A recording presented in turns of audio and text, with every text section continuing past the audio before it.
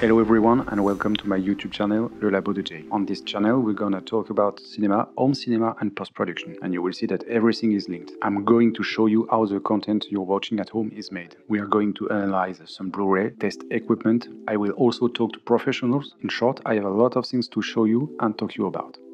To start properly, we're going to attack a big file, the HDR. To treat correctly that subject, I will make three videos.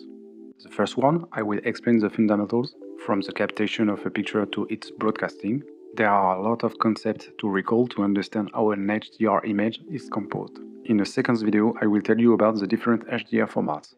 We're going to dissect them and see what is inside the famous metadata. And finally, in the third video, we're going to look at concrete examples and study pictures from Blu-ray.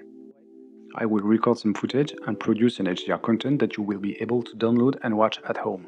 In short, you will be spoiled, I will make you a detailed file that I hope will fill your expectation and answer all your questions about HDR since I know you have a lot. But first, jingle intro.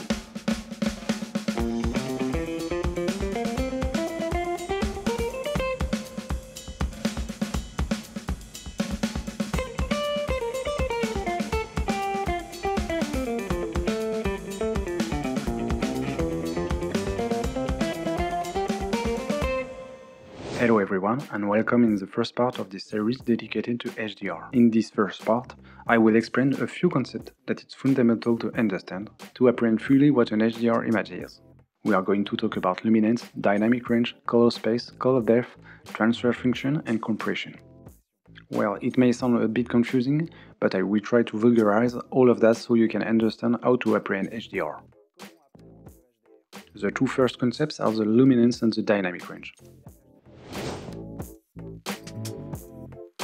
The luminance is the quantity of light an object can emit. It is measured in candela per square meters or in nits. The dynamic range measures the difference between the darkest and the brightest value of an image. This gap is measured in light intensity, in stops or in dB. The dynamic range is used in many different ways. Today we're talking about dynamic range for TVs, but to be accurate, the dynamic range only applies for camera sensors. For TVs, we talk about contrast ratio, we are going to watch together this diagram that contains a lot of information about intensity values that are emitted in reality, and intensity values that are emitted by a streamer. The absolute black or black body is 0 nits.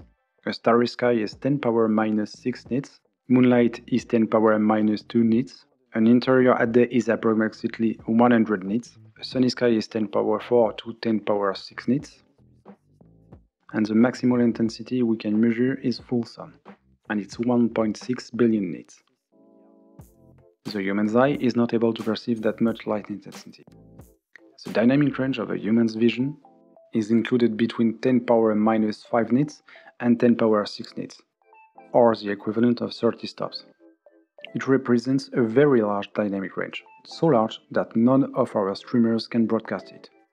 To compare, a HDTV that we call SDR, short for Standard Dynamic Range, has a dynamic range of 7 stops. That is to say its maximal light intensity is 100 nits and its minimal light intensity is 0.5 nits. The point of HDR is to give you a larger dynamic range and get closer to what the human's eyes can perceive. A TV is said to be HDR when it displays at least 10 stops. There is one thing you have to understand. The production of HDR as the capture of an image with a larger dynamic range, we have it for a long time. Both digital and analog cameras have large dynamic range. They are between 12, 14 or 16 stops. These ranges, we have them for a while, but we weren't able to broadcast them. So you see that between the 10 stop of an HDR TV and the 30 stops of the human eyes, we have room. Depending on the type of technology used, we don't have exactly the same dynamic range. An OLED TV set can offer you a display of light intensity of 540 nits on average. It can be a bit more, 600, 700, but rarely more than 100 nits. On the other hand, in terms of black level, an OLED TV set can go very low. It can go to 0.005 nits. It's the darkest black that you can find on the consumer market. Among the most widespread technologies, you can also find the LCD QLED. The QLED allows to display light intensity value upper than 1500 nits. On the other hand, the black level it can display is 0,01 nits.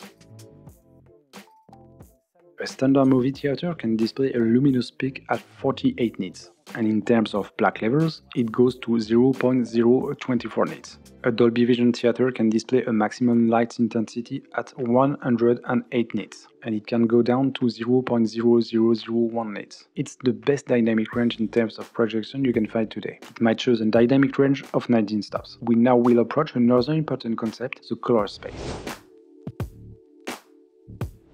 color space is all the colors the human eyes can see.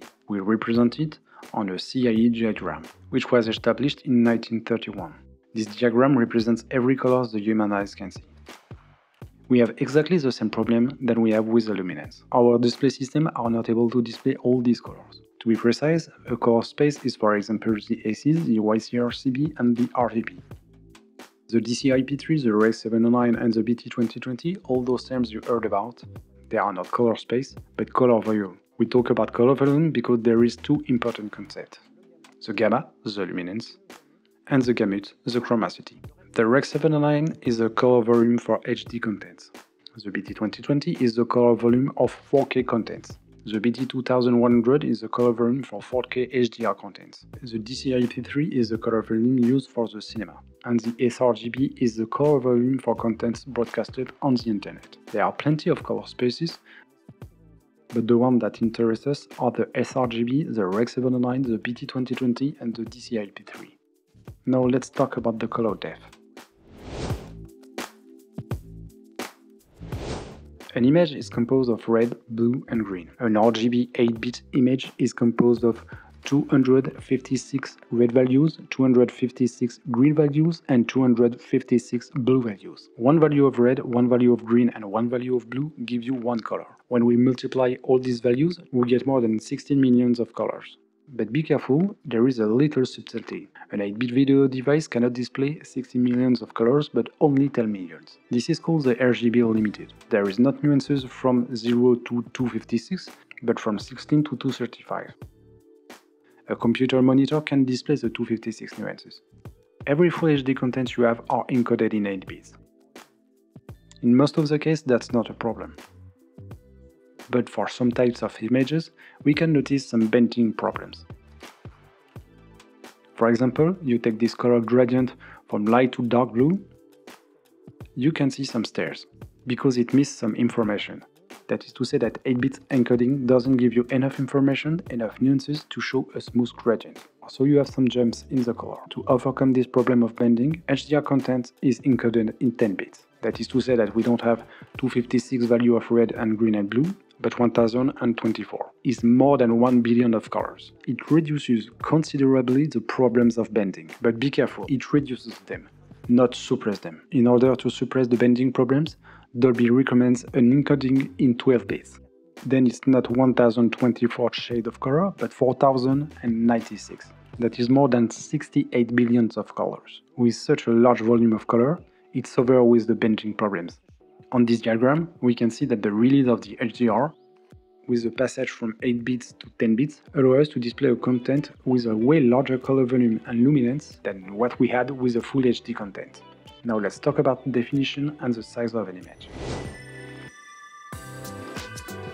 The size of an image is measured in pixels. We're talking about definition, not resolution. The definition of a picture is its height by its wide. An HD picture is 1920 pixels high by 1080 pixels wide. A 4K UHD picture is 3840 pixels of height by 2160 pixels wide. The 4K will allow you to have a better definition of picture on a larger screen and let you look at it even more closely. Let's take a simple example. Let's take two 65-inch screens, one Full HD screen and one 4K screen. On the 4K screen, we'll display a 4K footage. On the HD screen, an HD footage. If you take those two screens and you place them at 2 meters from you, you will see that the picture in 4K is more precise than the HD pictures. Because on the 4K pictures, you have 8 millions of pixels to fill a 65-inch screen. And on the HD pictures, you have only 2 millions of pixels to fill a 55-inch screen too. Obviously, when you're standing at 2 meters, you notice it.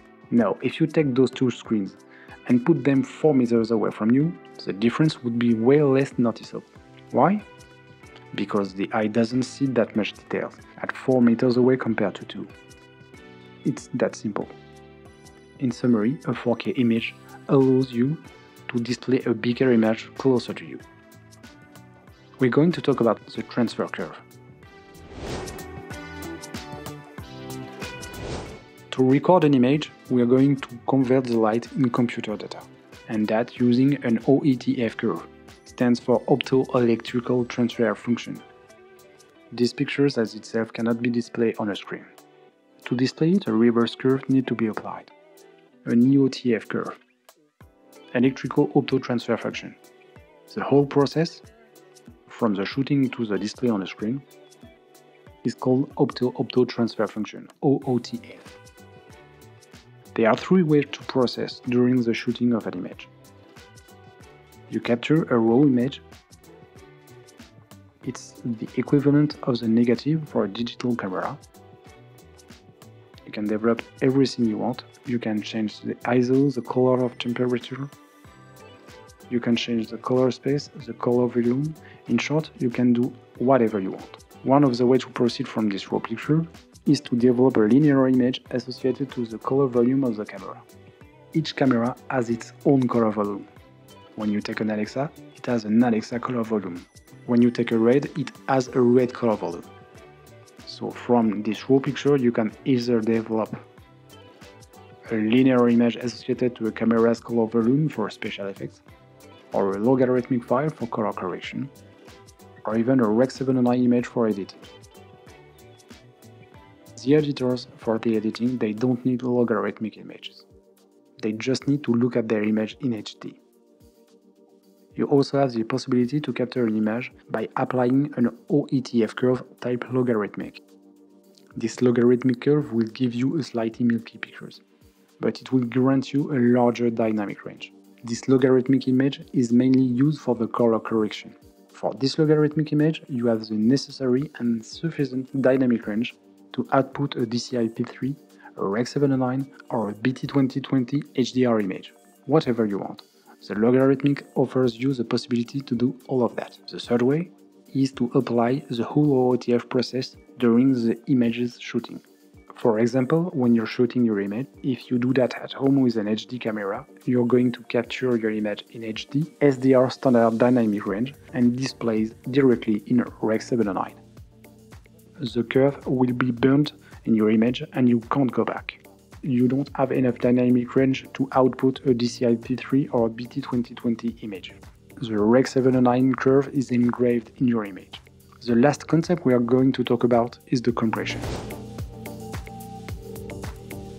For the compression, we use what we call a codec for compression and decompression. For HD content, the used codec is the H264. For the 4K HDR content, the used codec is the HEVC H265. To reduce the size of a file, we're focusing on the color. Why? Because the human's eyes is less sensitive to the color than to the light. A very simple example. You take a picture, you take away the color and you still have a black and white picture. On the same picture, if you take away the light, you only have black. To reduce the size of the file, we are going to decrease the colors information. For that, we are going to convert the RGB signal into a YCRCB signal we will separate the luminance from the chrominance. Y is the luminance, CR is red color information, and CB is the blue color information. We can reproduce the green from the YCR-CB. This process is called chroma subsampling. There are plenty of subsampling standards. Those that are relevant to us are the 444, which we call without compression.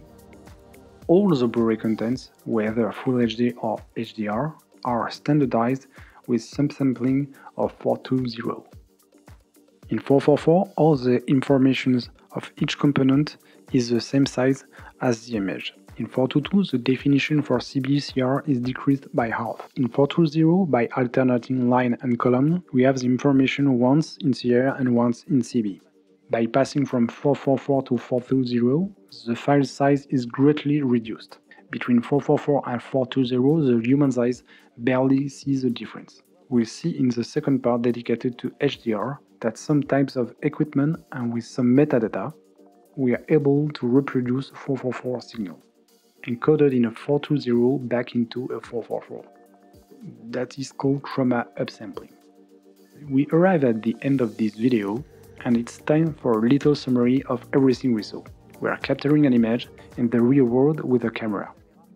The camera produces an image RGB 444 12 bits. We process this image in post-production and apply an EOTF curve to it.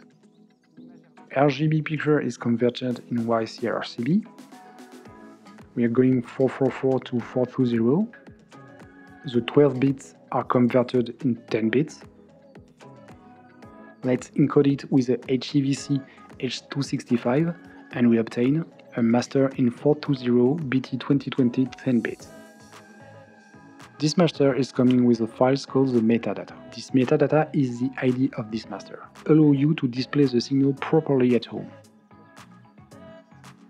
Depending on the type of chosen HDR type, the metadata will be different, and at home there are several scenarios. Scenario number 1, HDR standard. The HEVC is decompressed. The display image is in 420 10 bits. The YCRCB is converted in RGB, an EOTF curve is applied, in order to display the picture properly on your TV at home. Your image is HDR 420 10 bits. Second scenario, some type of metadata and some type of equipment are able to restore from a 420 signal a 422 or a 444 signal it's chroma upsampling. 10 bits, it can restore 12 bits. So from an RGB 444 12 bits image, we arrive to a RGB 444 12 bits image. Compression, decompression. Magic. This video is now over. I hope you enjoyed it and that you learned a lot. We will meet soon for the second part of this series devoted to HDR.